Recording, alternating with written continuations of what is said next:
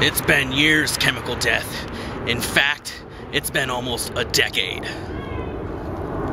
Mm. Mm. I just wanted to take this moment to wish you a very happy, but more importantly, healthy birthday.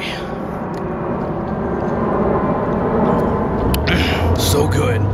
Because you, Khemical Death, of all people know that if you want to take on the massive horde, you need an army. You need a healthy army. Even an army of Khemical Death barely stands a chance.